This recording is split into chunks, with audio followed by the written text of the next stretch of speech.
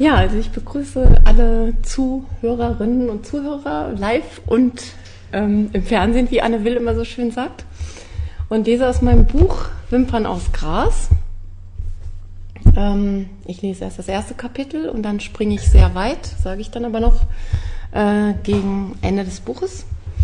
Ja, und da es ja Bücher zu verlosen gibt, wollte ich eine kleine Aufgabe stellen, weil ich äh, mir kurz vor der Lesung Gedanken darüber gemacht habe, dass eigentlich das Wort lovely auch in meinem Text vorkommt. Jetzt wäre die große Frage, kommt es im ersten, zweiten oder dritten Drittel der Lesung vor? Es geht los.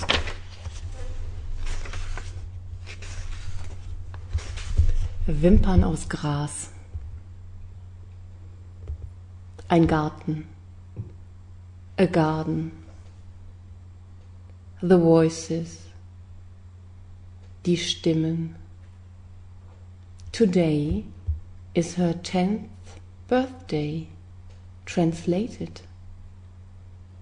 Heute ist ihr zehnter Geburtstag. Übersetze es. Annas Passbild liegt in Renas Hand wie eine Oblate, nur nicht rund. Die Schnittkanten des Fotos sind scharf, als wäre es eben frisch aus dem Automaten gekommen, aber die Farben sind verblasst und rotstichig. Auf der Rückseite steht ein Datum und ein Kugelschreiberherz, verbunden mit einem Bindestrich und einem Lich. Herz, Lich für Schwabbelbauch. Von Anna, der ersten und letzten. Anna und Rena haben sich im Handarbeitsunterricht manchmal gegenseitig das Maßband um die Taillen geschlungen. Anna hat meistens gewonnen. Sie war die dünnere.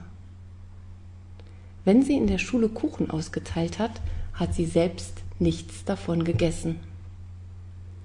Leave, left, left, lose, lost, lost. Thank you, Anna. Sit down, please. Anna ist tot.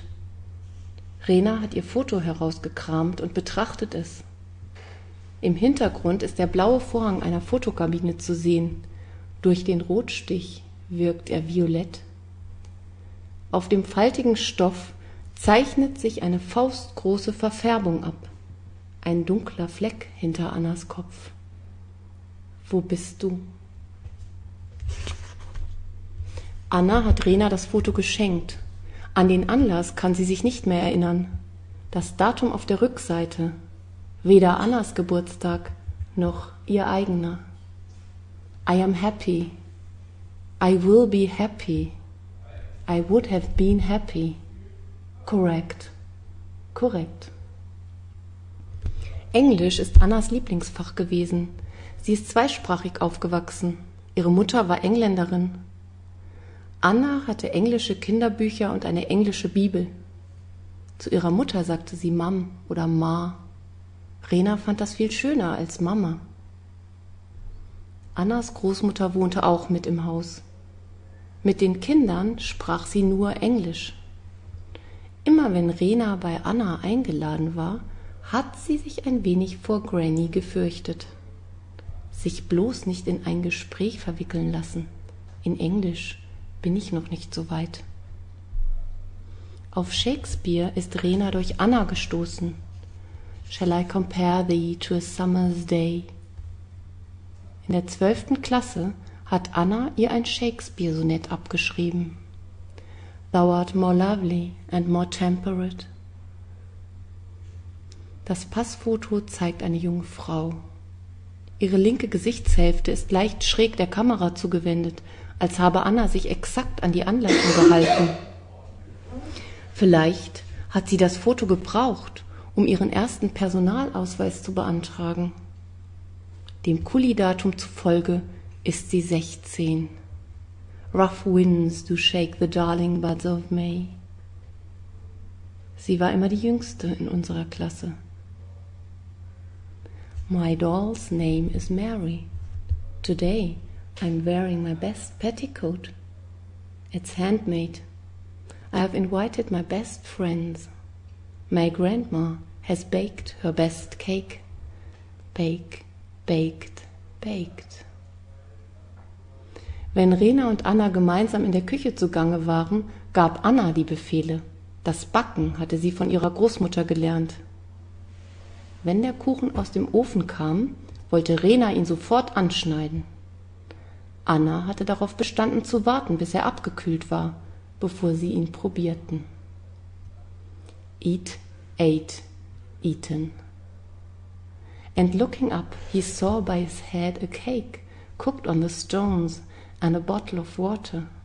So he ate and drank and went to sleep again. Eine Locke hat sich aus Annas Seitenscheitel gelöst und hängt ihr in die Stirn. Die gealterten Farben des Fotos täuschen über die Farbe ihres Haares hinweg. Es war rotbraun, wie von Kastanien. Rena weiß das so genau, weil sie ihre Haarfarbe immer mit Annas verglichen hat. In einer mühevollen Prozedur hat sie sich ihre Farbe, ihre Haare mehrmals hintereinander mit Henna gefärbt, um den gleichen Rotton zu erzeugen. Annas Haarfarbe ist es nie gewesen. But thy eternal summer shall not fade. Anna trägt ihr dichtes Haar kurz, aber so, dass es die Ohren fast bedeckt. Nor lose possession of that fair thou owest. An ihrem linken Ohr ist ein Ohrring zu sehen, ein goldener Hänger, an dem ein Kügelchen baumelt. Annas Ohrringe. Ich sehe sie genau vor mir. Selbst beim Schwimmen hat sie sie anbehalten. Annas Gesicht ist oval und läuft in ein schmales Kinn aus. Ihre Nase dagegen könnte man knubbelig nennen. Von nahem betrachtet ist an ihrem Kinn ein Grübchen zu erkennen. Nor shall death brag thou wanderest in his shade, when in eternal lines to time thou growest. Annas Lippen sind leicht geöffnet, als wollte sie gleich etwas sagen. Sie scheint ihr Spiegelbild etwas zu fragen ihre geöffneten Lippen, der Hauch eines Lächelns, so wie sie mich jetzt anschaut. Zwischen ihre Lippen passt ein Lufthauch, ein Einatmen, ein Ausatmen, der Hauch einer Frage. So long as man can breathe or eyes can see, so long lives this and this gives life to thee. Anna trägt ein rotes T-Shirt mit einem breiten Ausschnitt. Wie auf dem Dekolleté einer Büste bleibt der Blick beim Betrachten des Fotos auf ihrem Hals hängen und auf der silbernen Kette, die sie auf ihrer gebräunten Haut trägt. Wenn man genau hinschaut, kann man rechts und links neben der Kette die Spuren eines Bikini-Oberteils erkennen. Seine Träger zeichnen sich als weiße Streifen auf beiden Seiten ihres Schlüsselbeins ab. Es muss Sommer sein. Im Wurzelgrab hausend. Niemand entdeckt mich. In die Kissen gesunken, Mitte Juli, rosafarbene Käfer im Haar, bald Wimpern aus Gras. Ein ewiger Sommer, eine langlebige Stille. Wie die Ohrringe hat Anna auch ihre Halskette nie abgelegt. Auch auf einem späteren Foto ist sie gut zu erkennen. Diesmal trägt Anna sie über ihrem Halstuch. Rena legt die beiden Fotos nebeneinander. Da das Passfoto auf der Höhe des Schlüsselbeins abgeschnitten ist, kann man nur die Kette und nicht den dazugehörigen Anhänger sehen. Dass es sich um dieselbe Kette handelt, kann man nur vermuten. Oder man muss wissen, dass Anna ihr Leben lang nur diese eine Kette getragen hat. Ein rundes Medaillon ist daran befestigt. Es zeigt das Bild einer Marienfigur. Anna hat Rena die Kette, die ihre Großmutter ihr zur Kommunion geschenkt hatte, gleich am nächsten Tag gezeigt. Die beschützt mich, hat Anna gesagt. Mit bloßem Auge ist die Madonna, die im Profil abgebildet ist und einen Schleier trägt, nicht zu erkennen. Man muss es wissen. Zwischen dem Passbild und Annas letztem Foto liegen vier Jahre. Trotzdem hat Rena sie sofort erkannt, als sie den wattierten Umschlag mit den amerikanischen Marken aufriss, den ihr Reiko Ankenman vor gut zwei Monaten zugeschickt hatte. Im Gegensatz zu Annas Passbild befindet sich auf dem späteren Foto keine Widmung. Mit blauem Filzstift sind auf der Rückseite Datum und Ort der Aufnahme notiert. Es ist vier Wochen vor Annas Tod. Das kann man nachrechnen. Auf dem Foto sind Mr. und Mrs. Ankenman abgebildet. Im Hintergrund Mauerwerk. Sie sind gerade zu Besuch in der Stadt, in der Anna und Rena aufgewachsen sind. Die beiden sind braun gebrannt. Es ist wieder Sommer. The angel of the Lord came again a second time and touched him and said, Arise, eat, because the journey is too great for you. Reiko Enkenmann lacht direkt in die Kamera. Er sieht ein wenig erschöpft aus. Vielleicht hat er gerade das übliche Sightseeing-Programm hinter sich. Anna sieht ihren Mann von der Seite an. Mit einem Blick, mit dem man jemanden anschaut, den man sehr gut kennt. Das Grübchen an ihrem Kinn ist ausgeprägter als früher. Die kastanienbraunen Locken trägt sie jetzt schulterlang, was ihr Gesicht länglicher erscheinen lässt. Sie hatte Ringe unter den Augen. Ihre Schultern kommen Rena noch schmaler vor als auf dem Passfoto. Kein Zweifel, Anna ist dünner geworden. Früher hätte ich mit dem Maßband nachgemessen. Während ihr Mann das hellblaue Hemd offen trägt, ist Anna eher elegant gekleidet. Das graumelierte Halstuch und die Seidenbluse lassen sie älter wirken, als sie ist. Rena rechnet nach. Anna war ein Jahr jünger als sie, also muss sie auf dem Foto 20 sein. Über Annas Schulter hängt der Riemen einer Handtasche, der in ihre weiße Bluse schneidet. Anna wirkt auf Rena so zart wie eine Feder. Then the Lord went by, and mountains were parted by the force of a great wind. Rena hat die beiden damals nicht getroffen. Zu diesem Zeitpunkt hatte Anna den Kontakt zu ihr bereits abgebrochen. Anna sieht glücklich aus einen Monat vor ihrem Tod. Ich bin kein Detektiv. Vor welcher Mauer das Bild aufgenommen wurde, weiß man nur, wenn man sich auskennt. Das Foto zeigt das Ehepaar Ankermann vor dem Heidelberger Schloss. Auch das hat Reiko Ankermann für Rena auf der Rückseite des Fotos vermerkt. Anfang des Jahres hatte er sich völlig unerwartet bei ihr gemeldet, um ihr den Tod seiner Frau mitzuteilen. Als Rena den sandfarbenen Umschlag in den Händen hielt, fiel ihr Blick auf das Heer von Briefmarken. Zehn Marken mit blau-rot-weißem Sternenbanner klebten dort in akkurater Zweierreihe. Die Handschrift war Rena unbekannt. Absender war ein Dr. R. Ankenman, 4734 Spellman Road, Houston, Texas 77035. Rena hat damals sofort nachgeschlagen. Houston liegt nicht weit vom Golf von Mexiko, ist die größte Stadt in Texas und die viertgrößte in den USA. And rocks were broken before the Lord, but the Lord was not in the wind. And after the wind there was a fire, but the Lord was not in the fire. Die Todesanzeige hatte Rena zuerst übersehen. Sie steckte zwischen den ersten beiden Seiten eines Büchleins, das sich neben dem Heidelberg-Foto im Umschlag befand. Das Büchlein kam Rena gleich bekannt vor. Sein Einband aus buntem Seidenstoff glänzte matt, obwohl er bereits zerschlissen war. Der Stoff war mit chinesischen Motiven bedruckt, ein Mann in purpurfarbenem Gewand stand in einer Dschunke und angelte. Eine mintgrün gekleidete Frau schöpfte Wasser aus einem Brunnen, neben ihr ein zottiger Wasserbüffel. Der Einband des Buches war auf der Rückseite mit einer Schlaufe versehen, die auf der Vorderseite in ein kleines metallenes Schloss auslief. Das Schloss war aufgebrochen worden.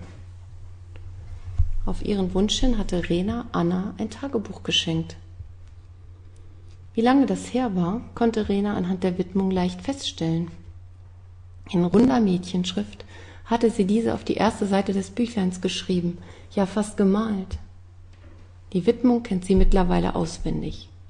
Für Anna. zu deinem zehnten Geburtstag, damit du noch viele Schandtaten von Monsieur Lapeur aufschreiben kannst. Deine Rena. Ich sehe was, was du nicht siehst. Das war Annas erster Eintrag. Warum hat sie diesen Satz notiert? Jeden Nachmittag geht Anna ins Schwimmbad. Im Wasser sein, in der Sonne braten. Am liebsten gleich vom Mittagstisch aufspringen. Vorher muss sie noch zu Granny Hausaufgaben vorzeigen. Manchmal guckt Granny nicht so genau, dann zeigt Anna ihr die von gestern. Wenn sie im Bergbad ankommt, springt sie als erstes vom Dreier. Sie würde gern mal vom Zehner springen, aber hier gibt es leider keinen Zehner. Rauf auf den Turm, den Fuß auf das Sprungbrett aufsetzen, einen Schritt in die Luft machen und sich fallen lassen. Mit dem Kopf zuerst, die Luft anhalten, ins Wasser eintauchen, möglichst lang unten bleiben, bis die Ohren dröhnen, dann auftauchen, Wasser ausprusten, die Luft einsaugen. Es kribbelt überall sich an der Sonne trocknen lassen. Die Sonne frisst meine Haut. Warum hat ihr Annas Mann das Tagebuch zugeschickt? Weil sie es Anna geschenkt hatte und er es ihr nach Annas Tod zurückgeben wollte? Die ersten Einträge sind auf Deutsch. Vielleicht hat er damit nichts anfangen können.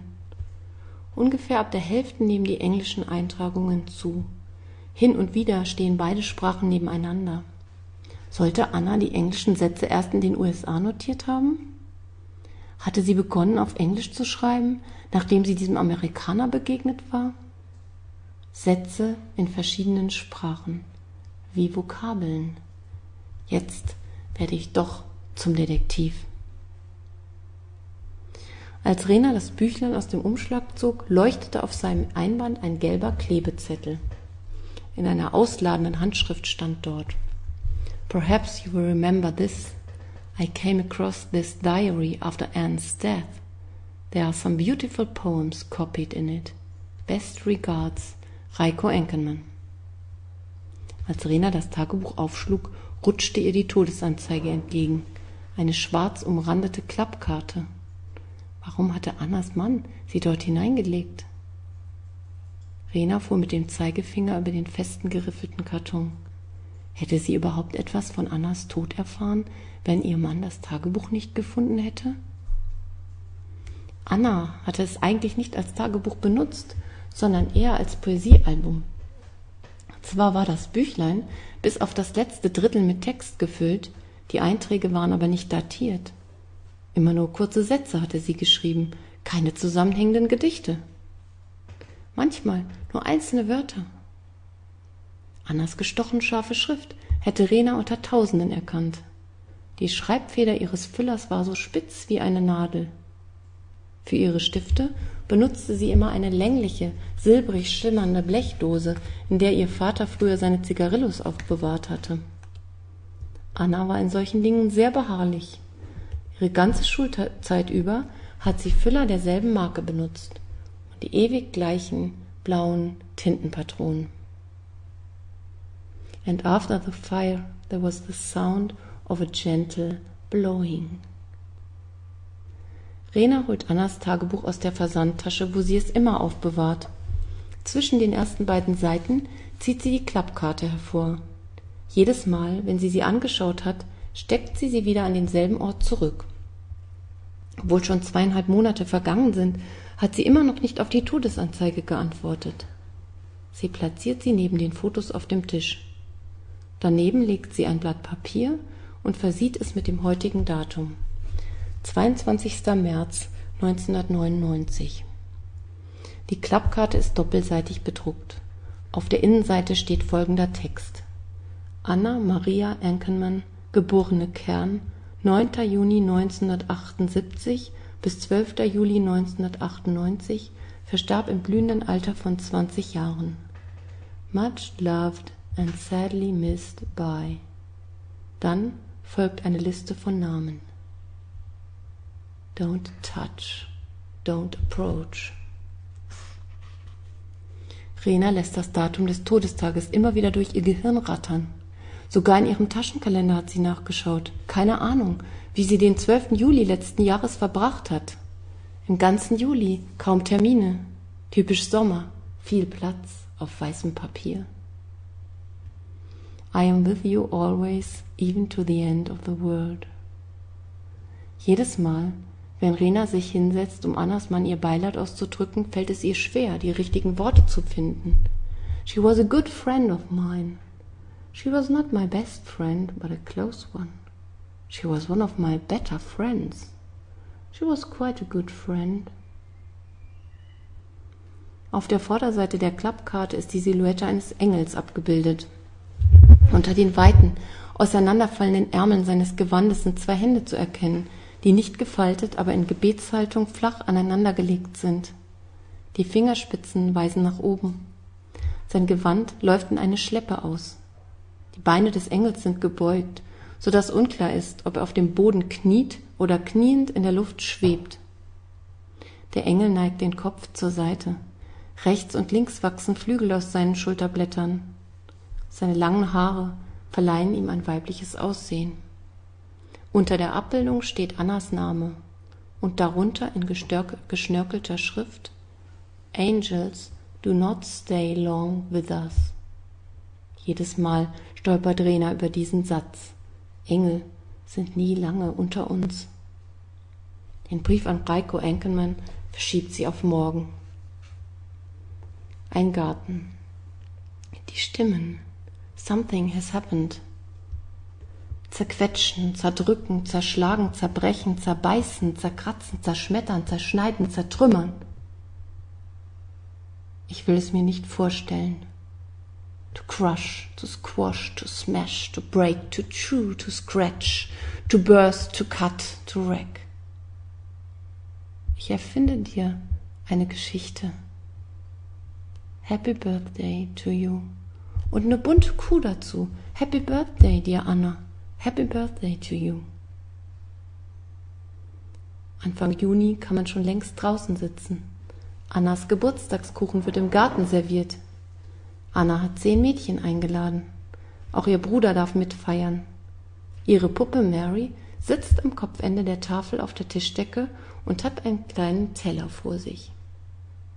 Alle Freundinnen beneiden Anna um Grannys Backkünste. Wie jedes Jahr freuen sie sich auf ihren Apple Pie. Als er aufgetragen wird, geht ein Raunen durch die kleine Schar. A garden, the voices, the closer you get, the more they fade.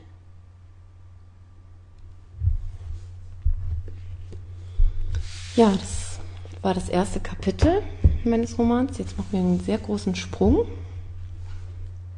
Oh. Fast an den Schluss des Buches, aber nicht ganz an den Schluss. Wie jeden Donnerstag hatte Reiko Anna in die Uni mitgenommen. Sie wollte immer noch keinen Führerschein machen. It would be better if you got your driver's license, Angel. Anna überhörte das. Nachher würden sie sich auf dem Parkplatz treffen und Reiko würde sie wieder mit nach Hause nehmen. Wie praktisch das war. Anna betrat das Department of Anthropology, zu dem das Archäologische Institut gehörte. Wie immer ging sie zuerst zum schwarzen Brett mit den Announcements. Es gab Neuigkeiten. Dr. Kelber, ein Bekannter von Reiko, war offensichtlich krank. Seine Seminare würden ausfallen. Anna schlenderte darauf über den Campus bis zu Reikos Büro im Medical Center. Aber die Sekretärin teilte ihr mit, dass Reiko an diesem Vormittag Nachprüfungen abhalte und in keinem Fall gestört werden dürfe. Davon hat er mir gar nichts erzählt. Das sei vier Wochen nach Trimesterbeginn immer so. Vor Reikos Zimmer saßen mehrere Studentinnen. Was wollen die alle von ihm? Um die Wartezeit zu überbrücken, ging Anna über den Campus zurück zum Haupthaus. Rice gefiel ihr, der gepflegte Rasen, die Institutsgebäude im viktorianischen Stil. Sie hätte sich ins Gras setzen können, so warm war es hier Mitte September. Einige Studentinnen hatten ihre Jacken und Taschen ausgebreitet und lagen einzeln oder in Grüppchen auf der Wiese. Haben die denn vormittags keine Classes? Die meisten ihrer Kommilitoninnen wohnten auf dem Campus. Anna hatte nichts mit ihnen zu tun. Sie führte ein anderes Leben. I'm wanted, I have been wanted. I'm the chosen one. Die meisten Sätze im hinteren Drittel ihres Tagebuchs hat Anna auf Englisch geschrieben. In ihrem Tagebuch zu lesen kommt Rena so vor wie das Blechdosenspiel, das sie früher beide gespielt hatten. Anna hatte die längliche Blechdose geleert, der sie ihre Stifte aufbewahrte und darin einen bestimmten Gegenstand versteckt. Rena durfte die Dose nicht öffnen. Anhand der Geräusche, die er beim Schütteln der Dose machte, musste sie erraten, was für ein Gegenstand es war. Annas Sätze sind verschlossen. Ich kann sie nur von außen betrachten. Rena hätte nicht gedacht, dass ihr so etwas passieren würde. Bis eben hatte sie mit Micha noch in einer Bar gesessen. Irgendwann war es dann zu spät, um nach Hause zu fahren. Micha hatte die Idee, zum Neckar hinunterzugehen. Er wollte sich das Hochwasser ansehen. Rena stellte sich neben ihn und sah den Schwänen beim Schlafen zu. Mit dem Kopf unterm Flügel schaukelten sie in Ufernähe wie kleine Boote. Als sie sich mit Micha im Altstadtcafé getroffen hatte, war es Nachmittag gewesen. Er war mit einer gletscherblauen Vespa vorgefahren, die er vor dem Café aufbockte. Rena hatte ihn erst erkannt, als er seinen Helm absetzte. Anna verließ den Campus, um einen Abstecher in Reikos Lieblingsbuchhandlung zu machen, die in unmittelbarer Nähe der Uni lag. Reiko hatte ihr Brazos Bookstore gleich am Tag ihrer Immatrikulation gezeigt. Dort angekommen, stöberte sie in den Regalen. Sie suchte ein Geschenk für Reiko. Er hatte ihr zwar erklärt, dass Geschenke an Thanksgiving eher unüblich wären, aber Anna wollte ihm unbedingt etwas schenken. Reiko hatte ihr den einen Wunsch ins Ohr geflüstert, den sie schon kannte. Ein Baby kann ich doch nicht kaufen. Dann verrate ich dir meinen zweitgrößten. Er hatte sich eine zweisprachige Ausgabe mit deutscher Lyrik gewünscht, am liebsten von einer Autorin. Anna flanierte an den Buchrücken im Regal mit der Aufschrift German Literature vorbei. Da gab es allerdings kaum Auswahl. Goethe war natürlich vorrätig und Heine. Sie würde nachfragen müssen. An manchen Tagen hatte sie einfach keine Lust, andere Leute anzusprechen. Aber mit den Tabletten ging es. Als Reikos Ehefrau kannte der Buchhändler sie mittlerweile. German Literature by Women? Aus einem Stapel von Neuerscheinungen kramte er ein Buch hervor. Three Paths to the Lake. Stories of Ingeborg Bachmann. Portico Paperback Series 1997. Nicht ganz das Richtige, vielleicht könnte er einen Lyrikband von ihr bestellen. Songs in Flight. Lieder auf der Flucht. Langsam wurde es hell. Trotzdem waren die blinkenden Lichter auf dem Königsstuhl noch deutlich zu erkennen. Der Geruch von frischem Brot lag in der Luft. Rena wollte Micha nicht zu sich nach Hause mitnehmen, so viel war klar. Ulrike würde das bestimmt nicht stören, sie hatte selbst oft Männerbesuch. Rena und Ulrike nannten das sich verdoppeln. Meistens konnte Rena schon an den Schuhpaaren vor der Tür abzählen, ob Ulrike sich diese Nacht wieder verdoppelt hatte. Für Ulrike wäre es also kein Problem, aber Rena wollte nicht, dass sie alles von ihr mitbekam.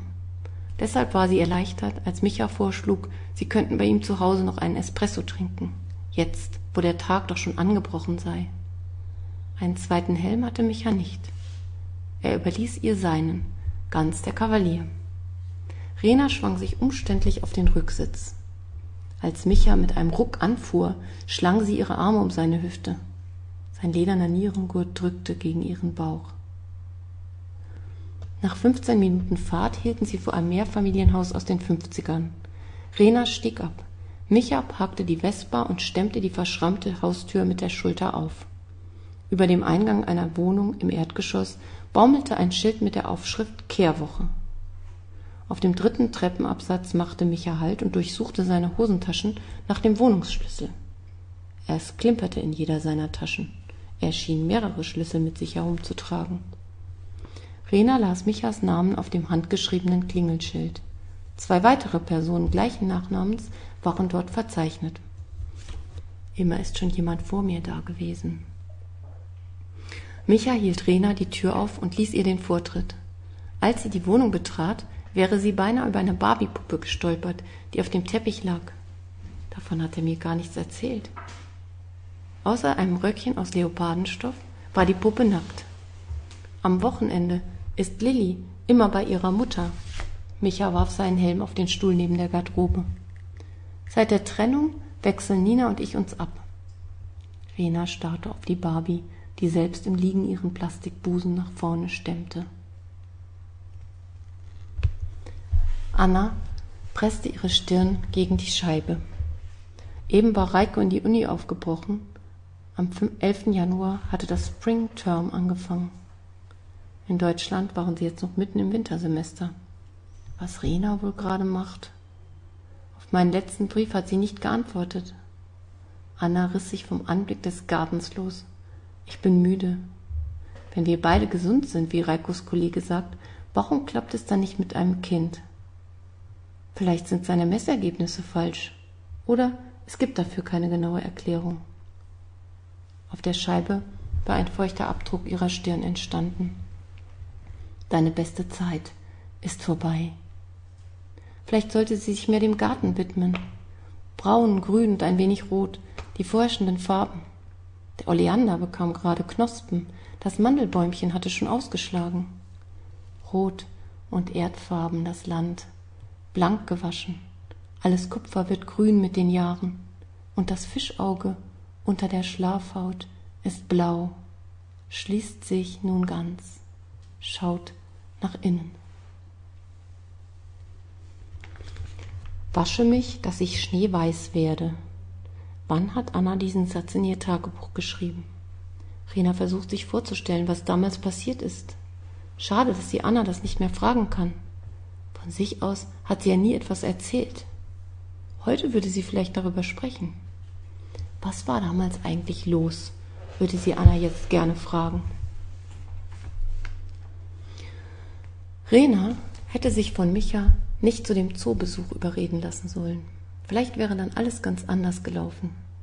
Es war verabredet, dass sie danach zu dritt bei Micha und Lilli zu Abend essen würden. Dann sähen sie weiter. Wenn alles gut klappte, könnte man über eine Übernachtung nachdenken. Micha hatte das vorher mit Nina besprochen. Sie war einverstanden gewesen. Aus Renas Sicht hatte alles gut geklappt. Nach dem Zoo und der Zuckerwatte durfte Lilli noch einmal auf dem automatischen Elefanten am Ausgang reiten. Diesmal spendierte Rena ihr die Runde. Der Elefant machte ruckartige Bewegungen, zu denen sich Lilli im Sattel hin und her warf. Du bist ja eine richtige Elefantenbändigerin. Micha schoss Fotos von ihr, damit Mama sieht, wie gut du reiten kannst. Als die Runde zu Ende war, lehnte sich Lilli über den Elefantenrüssel und wollte gar nicht mehr absteigen. Micha hob sie vom Sattel. Dann fuhren sie nach Hause. Micha mit Lilli auf dem Motorrad und Rena mit dem Rad nebenher. Sie machten ein kleines Wettrennen. Zu Hause gab es Nudelauflauf. Micha werkelte in der Küche herum und Rena bewunderte Lillis Puppenschule. Die Barbie war natürlich die Lehrerin. Außer dem Röckchen aus Leopardenstoff trug sie einen selbstgeschneiderten roten Plastikumhang. Hat meine Mama gemacht, sagte Lilli stolz. Dann war das Essen fertig. Für Lilli gab es Sprite, für Micha und Rena Bier. Sie hatten ihr versprochen, vor dem ins Bett gehen noch eine Runde Memory zu spielen. In Michas Zimmer legte Lilli die Kärtchen in krummen Reihen auf dem Boden aus, während sich Micha und Rena in der Küche küssten. Fertig, rief Lilli. Sie setzten sich auf den Teppich. Lilli hatte schon ein Pärchen aufgedeckt. Micha und Rena ließen sie gewinnen. Lilli stapelte alle Karten zu einem Turm. Ich will noch weiterspielen, sie rannte im Kreis um den Kartenstapel herum. Jetzt ist Schluss, meine Süße. Micha fing sie ein. Sag Rena gute Nacht. Er nahm Lilli auf den Arm und trug sie an Rena vorbei in ihr Kinderzimmer. Lillis Frottee-Schlafanzug roch frisch gewaschen. Hat Nina ihm den Schlafanzug mitgegeben? Oder wie schafft er das alles? Hinter der Tür wurde es laut. Ich will aber bei dir schlafen. Das geht heute nicht. Warum nicht? protestierte Lilli. Versuch es doch mal hier. Nein. Also gut. Micha trug sie wieder in sein Zimmer zurück. Lilli ließ sich aus seinen Armen auf das Bett gleiten und sprang auf der Matratze herum. Micha schüttelte das Kopfkissen aus und Lilli kroch unter die Decke. Nachts trage ich dich dann aber rüber. Nein. Lilli richtete sich auf. Ihre Locken standen von ihrem Kopf ab wie kleine Hörner. Ihre Augen glänzten. Du sollst weggehen, Sie zeigte auf Rena. Lilly, Micha wurde streng. Rena und ich gehen jetzt in dein Zimmer und du versuchst hier einzuschlafen. Nachher trage ich dich dann in dein Bett. Die Tür muss aber offen bleiben. Micha beugte sich über seine Tochter und umarmte sie. Und jetzt schön schlafen. Rena nahm ihr Bier und verließ den Raum. Im Kinderzimmer setzte sie sich auf den Bettvorleger neben die Barbie. Micha kam mit einem neuen Bier zur Tür rein. Was hat sie denn? Lilly ist es nicht gewöhnt, alleine einzuschlafen. Micha ließ sich neben Rena auf dem Teppich nieder. Sie ist doch schon fünf. Wenn du das nicht aushältst, Micha nahm einen kräftigen Schluck aus der Flasche, wird es nichts mit uns beiden. So klein ist sie nun auch nicht mehr. Du verstehst einfach nicht, wie es ist, wenn man ein Kind hat. Micha hatte die Stimme erhoben. Dass Lilly nicht alleine einschlafen kann, kommt doch nur daher, dass ihr euch getrennt habt. Micha setzte seine Bierflasche ab. Wenn es dir nicht passt, kannst du ja gehen. Das tat Rena dann auch. Anna lag wach, seit Reike um fünf Uhr das Haus verlassen hatte, um pünktlich am Flughafen zu sein. Sie zwang sich aufzustehen, obwohl sie noch müde war. Weil sie morgens so schlecht aus dem Bett kam, hatte Reiko ihr verordnet, jeden Morgen um sieben im Pool ein paar Bahnen zu schwimmen. Sie wollte diese Abmachung einhalten. Das Thermometer stand schon auf 17 Grad. Ende Juni, ein heißer Morgen in Texas. Reiko hatte extra ein Thermometer gekauft, auf dem die Temperatur nicht nur in Fahrenheit angezeigt wurde, sondern auch in Celsius. Nachher würde sie bei der Fluggesellschaft anrufen, um sich zu versichern, dass er gut gelandet war. Vorher aber würde sie schwimmen gehen. Anna öffnete die Terrassentür. Erste Vögel, schon so früh, so warm. Derselbe Breitengrad wie Tunesien, hatte Reiko ihr erklärt. Sie konnte es immer noch nicht glauben. Auf der Fernsehantenne des Nachbarn wieder eine Wanderdrossel. Es wurde hell. Man kann sich nicht dagegen stemmen. Der Himmel dehnt sich ins Blaue. Ein Mund, ein Rachen, aufgesperrt, verschlungen werden. Deine Zeit ist um.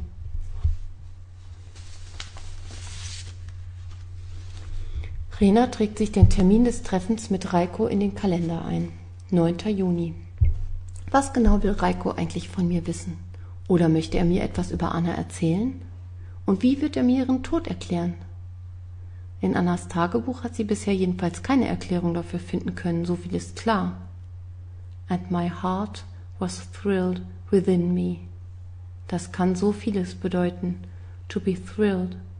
Erregt sein, aufgewühlt sein, zittern, beben.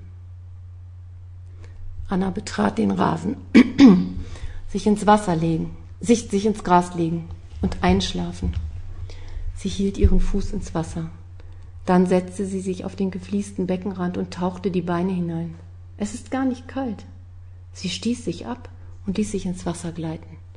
Einfach abtauchen, unter der Oberfläche verschwinden, wie dieses Sandtier am Strand von Galveston.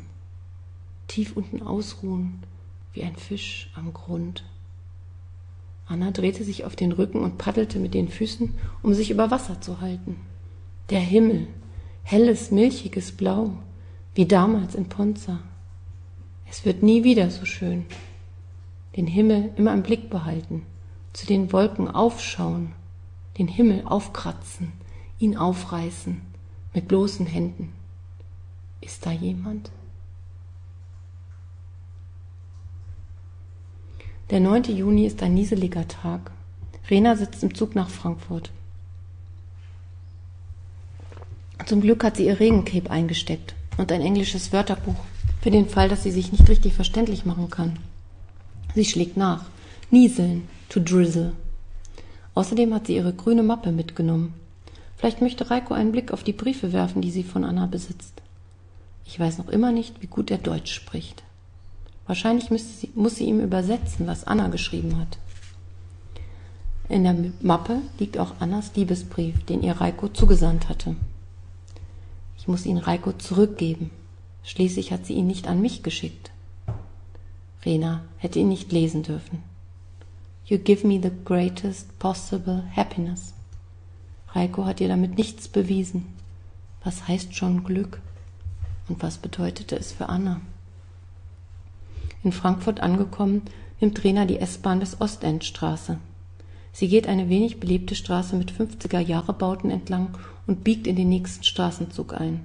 Auch hier Nachkriegsbauten, kaum grün. Die mehrstöckige Fassade des Steigenberger Hotels erkennt sie schon von weitem. Dass die in Frankfurt aus einem Haus immer gleich ein Hochhaus machen müssen. Rena geht auf die Treppe zu, die zum Eingang führt. Kaum hat sie die erste Stufe betreten, schnellt die Schiebetür auseinander. Ob Reiko mich drinnen bereits erwartet? Wie er wohl aussieht. Bisher kenne ich ihn ja nur vom Telefon. Rena hat Annas und Reikos Hochzeitsfoto zu Hause extra noch einmal angeschaut und sich sein Gesicht eingeprägt. Vom Foto her müsste sie ihn eigentlich erkennen. Es ist nur zwei Jahre alt, aber Schmerz kann einen verändern. Ob man von der Stimme auf das Aussehen eines Menschen schließen kann? Gleich werde ich ihm gegenüberstehen. Ich werde ihn an der Stimme erkennen. Rena betritt das Foyer, ihr Atem geht schneller. Mache ich hier etwas Unerlaubtes?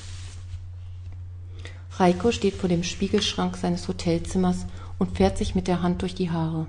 Er hat sich für ein weißes Hemd und Jeans entschieden. Seriös, aber jugendlich aussehen. Jetzt, wo die Begegnung mit Renate kurz bevorsteht, ist er doch aufgeregt.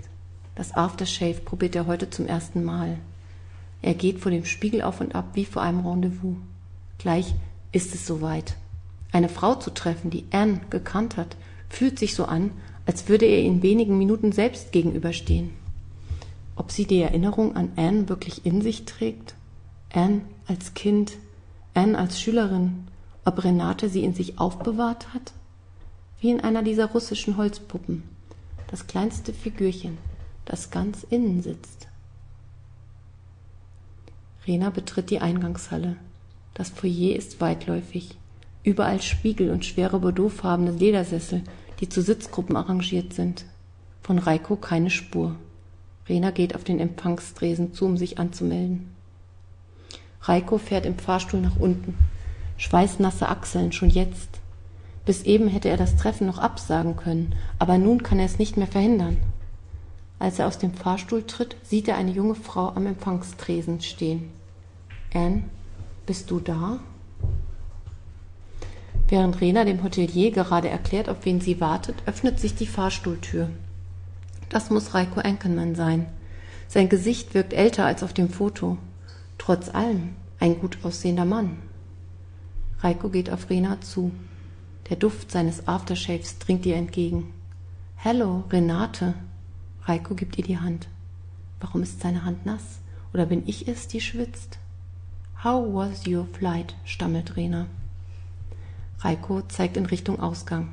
Let's go out for a walk. Rena muss die englischen Wörter in ihrem Kopf mühsam zusammenkratzen. I would have suggested the same. Kann man das so sagen? Am besten abwarten und so wenig reden wie möglich. Reiko händigt dem Hotelier seinen Schlüssel aus. Er geht auf direktem Wege zur Schiebetür, berührt Renate leicht an der Schulter und lässt ihr den Vortritt. Er hat sie sich anders vorgestellt. Sie sieht wirklich ganz und gar nicht aus wie Anne. Vom Hotel aus sind es wenige Minuten zum Main. Reiko hat nicht viel Zeit zu verlieren. Er brennt darauf, Renates Geschichten zu hören. Ich muss alles wissen. Rena hat Mühe, mit Reiko Schritt zu halten. Wo will er eigentlich hin? Sie betrachtet ihn von der Seite. Er sieht wirklich extrem gut aus. Es ist doch nicht verboten, das zu denken. Sie überqueren eine mehrspurige Straße mit dem Namen Schöne Aussicht.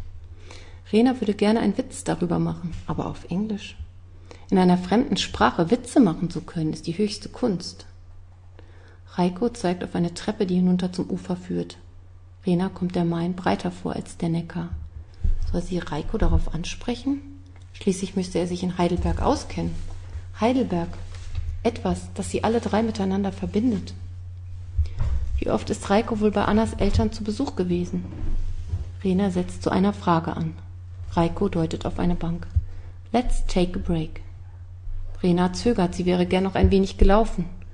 Reiko lässt sich auf der Bank nieder. Rena setzt sich neben ihn. Sein Aftershave steigt ihr jetzt besonders intensiv in die Nase. Ein Duft, den sie nicht kennt. Micha hat kein Parfum benutzt. Reiko riecht nach Gletscher, eisig und frisch. Ihm nicht zu nahe kommen. An der hölzernen Lehne ist ein kleines Messingschild angebracht, den Frankfurter Bürgern, gestiftet von der Deutschen Bank. Rena würde am liebsten sofort wieder aufstehen. Sie übersetzt Reiko die Inschrift. Er scheint sich nicht daran zu stören. Renate, hast du den Brief dabei, den mir Anne nach Riga geschickt hat? Rena holt die grüne Mappe aus ihrem Rucksack und zieht Annas Brief hervor. Sie legt ihn in Renas Hand wie einen toten Schmetterling. Reiko steckt ihn ein.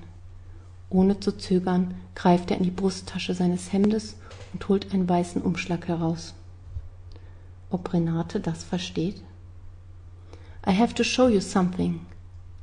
Annas Schrift. Schon wieder ein Liebesbrief? Das hier ist doch kein Indizienprozess. Reiko reicht Rena den Brief. Ernst Farewell Note. Ich habe eine Übersetzung davon anfertigen lassen. Annas Abschiedsbrief. Renas Herz fängt an zu rasen.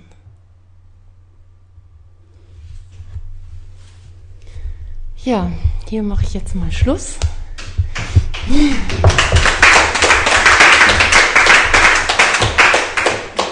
Ja, vielen herzlichen Dank.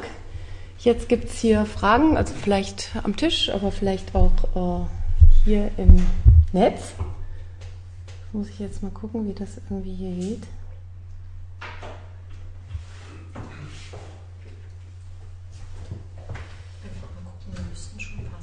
Mhm. Alles klar.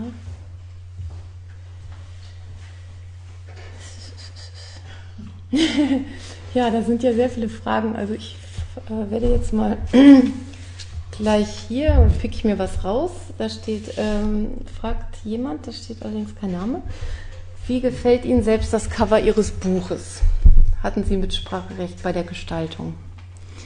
kann ich nur sagen, mir gefällt das Buch sehr gut und ich hatte Mitspracherecht.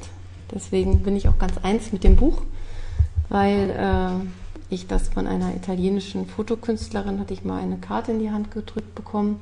Die habe ich dann auf meinem Schreibtisch aufgestellt, während ich geschrieben habe und habe irgendwie gedacht, das passt zu dem Buch, weil an einer Stelle heißt es mal, ähm, ich, ich kann sie nur von hinten sehen. Sie dreht sich nicht um.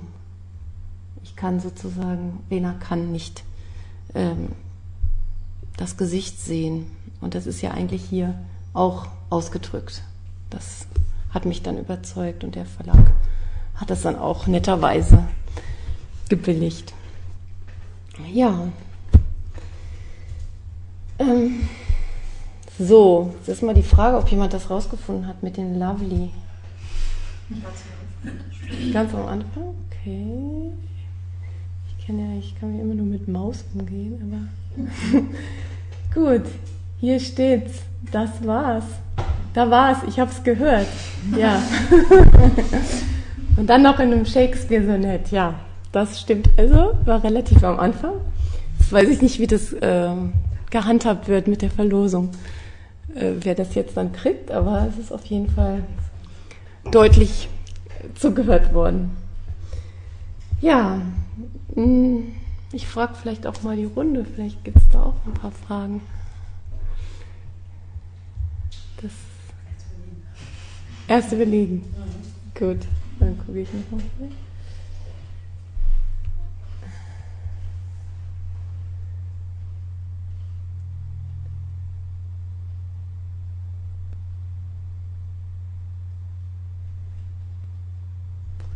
Ja, hier steht, haben Sie eine bestimmte Beziehung zu den USA oder der englischen Sprache? Also ich war erst alle, ein einziges Mal überhaupt in den USA. Das war tiefsten 80er Jahren. Das fand ich super. Ich konnte noch nie so gut Englisch wie zu dem Zeitpunkt. Und äh, allerdings ist es jetzt auch quasi meine erste Fremdsprache gewesen und deswegen habe ich äh, zu dieser Sprache gegriffen. Ich finde, das sehr interessant eigentlich als Fremdkörper das einzumixen in einen Text, weil es einfach äh, Aspekte gibt, also sowohl klangliche als auch inhaltliche, die eben so eine verfremdende Wirkung haben.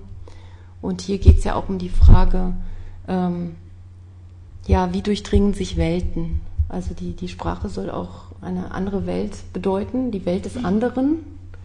Und das ist gleichzeitig eine Welt, ähm, die sozusagen eine Verheißung ähm, in sich birgt, diese Welt irgendwie zu entdecken und neue Erfahrungen zu machen. Andererseits auch natürlich eine Gefahr, ob sozusagen dort ähm, Verständnis überhaupt ähm, liegen kann. Es gibt natürlich auch eine, wenn Paten die gleiche Muttersprache sprechen, aber da konnte man das besonders, kann ich das irgendwie besonders gut deutlich machen. Ja. So, was gibt's noch?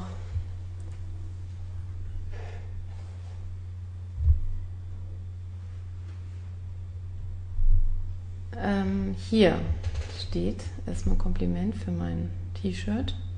Natürlich schön. und äh, welche Bücher ich denn gerne lese und welche Buchtipps ich für den Sommer habe. Also, äh, was ich gerade gelesen habe, was ich super toll fand, ich lese sehr gerne Krimis. Und ähm, das ist Linus Reichlin, Die Sehnsucht der Atome. Das ist sein erstes Buch. Zweite habe ich gerade vergessen, wie das heißt, werde ich mir unbedingt ausleihen. Und das neueste heißt, glaube ich, einfach nur Er. Das gibt es dann nur gebunden. Also den habe ich jetzt gerade für mich entdeckt.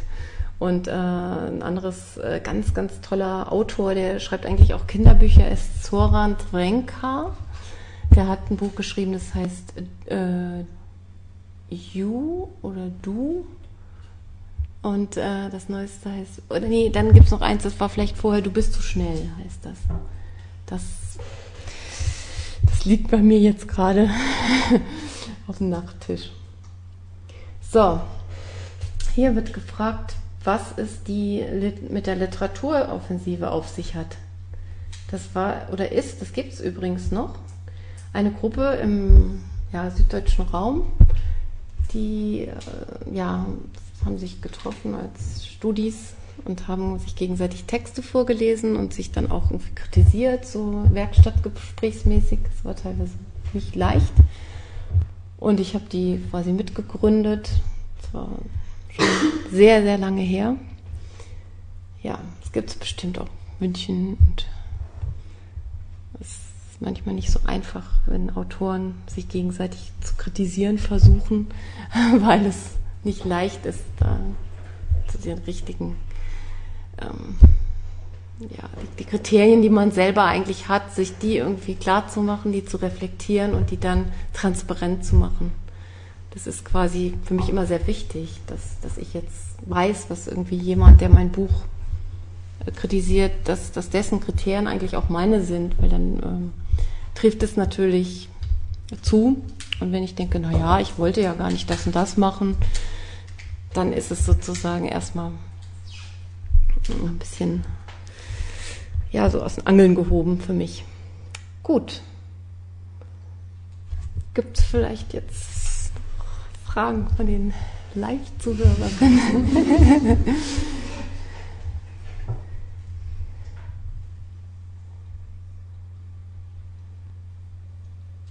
Ich hätte gerne den Schluss gehört. ah, ja, das ist eigentlich so eine Regel. Ich glaube, da gibt es auch irgendwie einen englischen Namen dass man den Schluss nicht lesen darf. Weil ja, das ist Buch noch verkauft. ja, genau. Und ich muss aber allerdings sagen, dass es immerhin noch äh, einige Seiten da auch noch sind. Also so, so viele Seiten. Es ist jetzt nicht ganz der Schluss. Also, dass man einfach nur den, den entscheidenden Satz jetzt noch hören müsste. Ja. Also hier geht es ja, geht's ja auch viel um, um Sprache, schriftliche Zeugnisse und sozusagen die Recherche, was, was kann mir irgendwie so Überbleibsel, was können die mir mitteilen? Und eben auf verschiedenen Ebenen, auf einer Metaebene immer die Frage, ja, was, was kann irgendwie Sprache, wie, wie wird sozusagen da Wirklichkeit eingefangen? Und äh, kann ich, kann ich überhaupt da jemandem begegnen und ja, im übergeordneten Sinne ähm, äh, kann, kann ich überhaupt irgendwie denjenigen kennen, den ich liebe oder mit dem ich befreundet bin? Wie fremd oder wie bekannt, vertraut ist mir eigentlich der oder die ne-, neben mir geht. ich fand es noch sehr interessant, wie alt die Anna war, wie sie gestorben ist. Ich habe mir die ganze Zeit überlegt, wie alt wird die wohl sein? Ja. Jetzt? Also wie lange waren die jetzt wirklich befreundet? Mhm. Und war dann eigentlich überrascht, dass, dass sie erst 20 war. Ja. Ich dachte, das gibt es ja gar nicht, jetzt schon verheiratet und mhm. irgendwie, also das kam mir so sehr eng vor, denn studiert haben kann sie ja nicht allzu lang mit dem Freund in Heidelberg, oder? Mhm. Das war eine sehr kurze Zeit und dann ist sie gleich nach Texas und dann ist mhm. sie gestorben. Ja. Das ist quasi eine Zeit, die, die sich Rena vorzustellen versucht, weil sie über die mhm. nichts weiß. Mhm. Und, und das sozusagen, die, die ganzen Seiten, die dazwischen sind, sind eigentlich diese Imagination dieser Zeit. Also das, das wird dann auch natürlich jetzt noch gedehnt und gefüllt das konnte man jetzt nur durch, durch die Raffung, äh, ist es vielleicht jetzt so, so erschienen, aber es gibt ja auch ganz, ganz junge heiratswillige Personen. Ich weiß jetzt nicht, äh, wie das bei den Anwesenden so Ich habe mir sagen lassen, dass es wieder auch so ist, dass das Leute ganz jung heiraten. Ja, nee, es ging mir jetzt gar nicht so sehr darum, wie jung sie geheiratet ja. hat, sondern wie lange sie sich gekannt haben und eng miteinander waren. Und das fand ich sehr spannend, dass man die ganze Zeit überlegt hat, das klang ja sehr eng und sehr mhm. nah. Ja. Und da ist eine Menge passiert schon ja. für die beiden und dann auf einmal war sie erst 20. So, das war, ja, also, ja. dass einfach in der Zeitspanne auch schon so viel passieren kann. Ja. Das mhm. wollte ich eigentlich eher sagen. Ne? Ja. Mhm. Ja, also so erste Liebe, es kann ja sehr intensiv sein. Also als Gefühl und auch wenn es vielleicht nicht lang gedauert hat. Ja, soll ich noch mal gucken? Hören Sie beim Schreiben gern Musik oder brauchen Sie Ruhe? Ja, das ist ganz eindeutig. Ich brauche absolute Ruhe. Ich wohne in Berlin, auch noch in einem Bezirk, der eigentlich ein sozialer Brennpunkt ist. Ähm, und da ist es mir eigentlich schon zu laut. Am liebsten wäre ich auf dem Land. Und ähm, ja, das, das erleben Schriftsteller ganz, ganz verschieden. Aber ich äh, finde sowieso, dass die Welt immer sehr voll ist von Geräuschen und Reizen, also vor allem eben in der Großstadt. Und äh, ich, ich brauche eigentlich ganz viel Abstand zur Welt, um in mich reinzuhorchen, um sozusagen diese Erfindungsgabe voll ausleben zu können. Das bedeutet jetzt nicht, dass die nicht aus Erfahrungen ähm, sich speist, und auch aus Beobachtungen, teilweise ganz, ganz genauen Beobachtungen. Aber um das ähm, so richtig zu erfinden und wieder ähm, aus sich herauszuholen, muss man sagen, ja, ganz viel Abstand haben. Deswegen keine Musik. Ja, gut. Das war, glaube ich, die letzte Frage.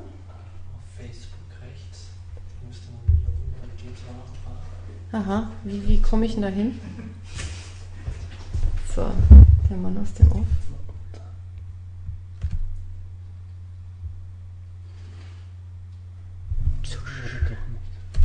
Da haben sich alle schon ab, wieder abge. Geht das leider nicht. Gut, ja.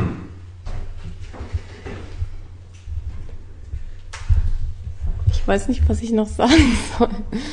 Am besten das Buch natürlich lesen. Und ähm,